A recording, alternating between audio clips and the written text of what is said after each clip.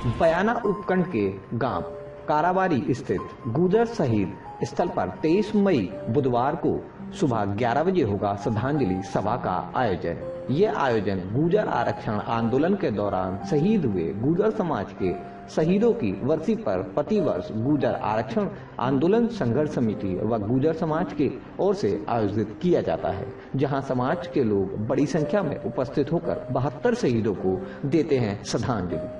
श्रद्धांजलि सभा में संघर्ष समिति के संयोजक कर्नल किरोड़ी सिंह बैसल सहित समाज के अन्य प्रमुख लोग भी बड़ी संख्या में मौजूद रहेंगे। पुलिस प्रशासन ने भी बढ़ाई है सतर्कता। पूर्व में घोषित इस दिन होने वाले गुजर महापंचायत को सरकार से समझौता होने के बाद कर दिया गया है स्थगित, जिससे सबने ली है सुकून की सांस।